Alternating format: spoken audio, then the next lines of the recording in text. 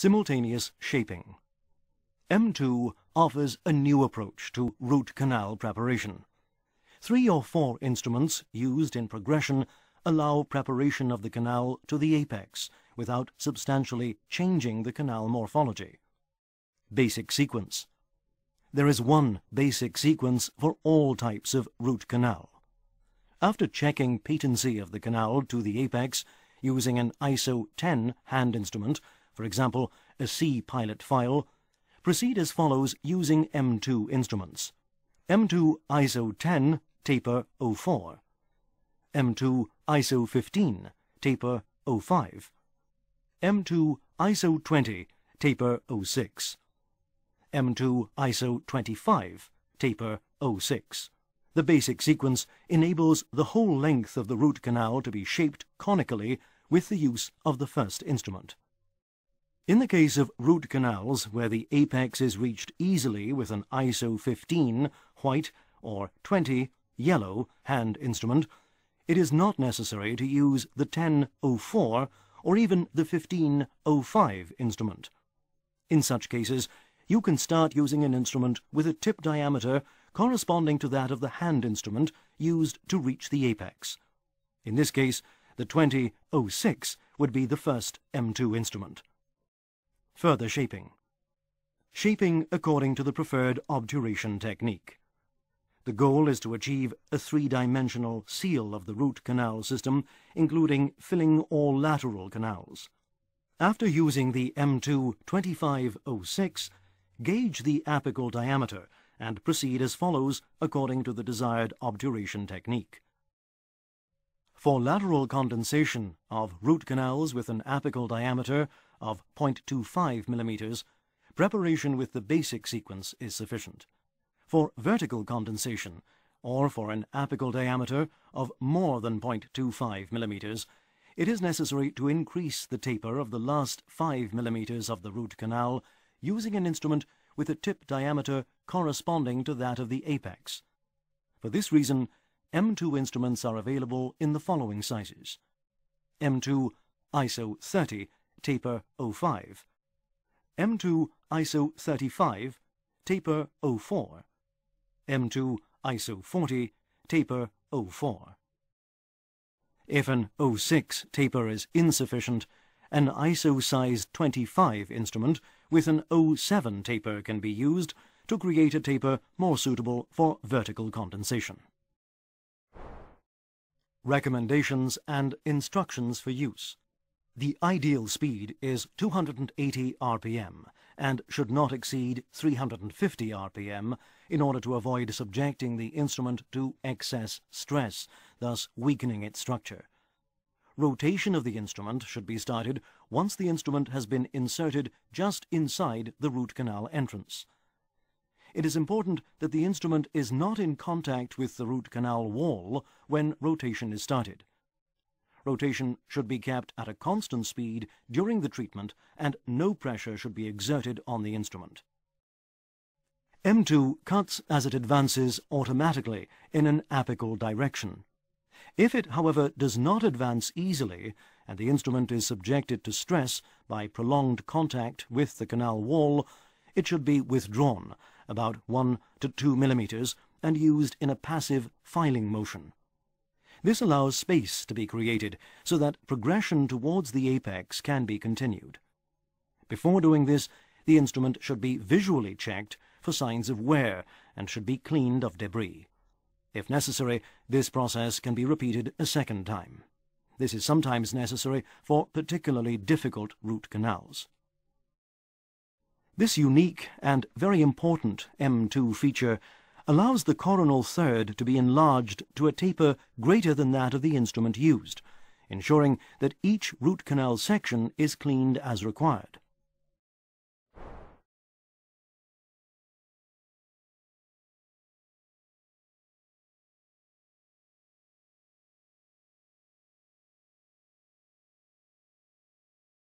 Before commencing preparation with Mtwo instruments, patency of the root canal should be checked with hand instruments in ISO sizes 8 and 10.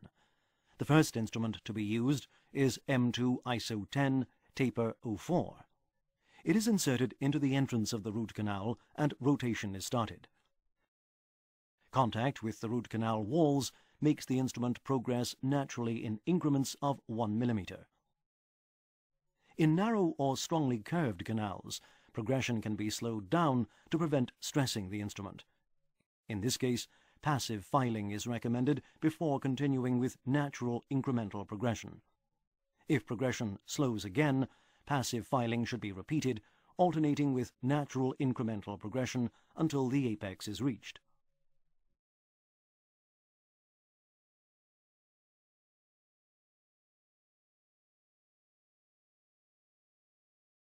The alternation of passive filing and incremental progression is not always required. In easy canals, the instrument can proceed naturally to the apex without any interruptions. In other cases, passive filing could be necessary just once, whereas in very complex cases, like this lower molar mesial canal, passive filing is necessary several times until the apex has been reached. This will enable the following instrument to work with ease.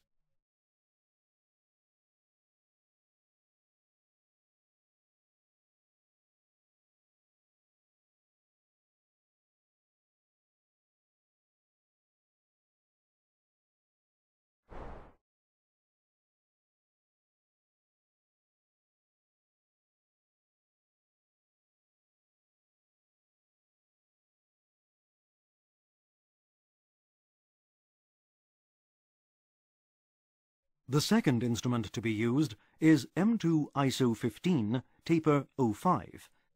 It is inserted in the same way and it will proceed naturally in the same way as the previous instrument.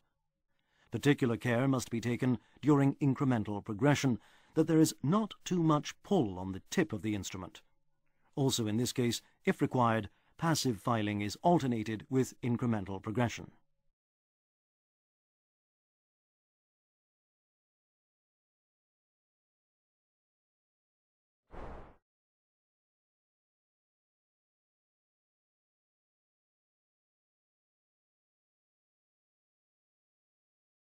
Even with the third instrument in the sequence, there is an increase in both tip diameter and taper.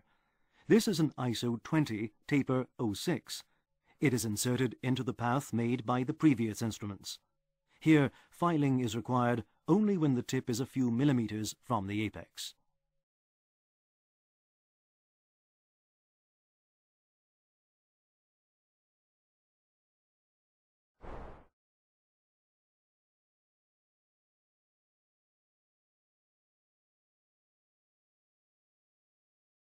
The fourth and last instrument is an ISO 25 taper 06, very effective and flexible, able to reach full working length even in curved canals without altering the apical anatomy. Every instrument reaches the apex with conical and coronal widening using passive filing if required. This technique is called simultaneous shaping.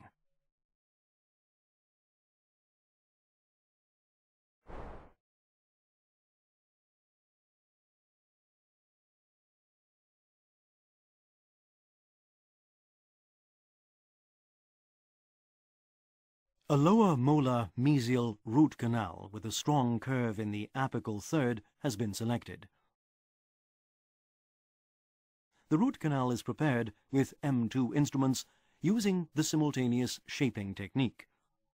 Once it has reached the apex, the last instrument, ISO 25 taper 06, the largest and least flexible instrument in the basic sequence, is used at full working length for approximately one minute moving it back and forth, keeping the instrument tip at the apex or just beyond.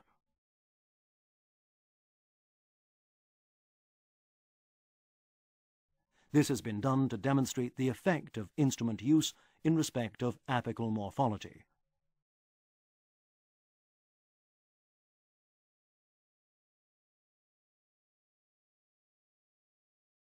The result is significant. Absolute respect of the apex and very precise round preparation.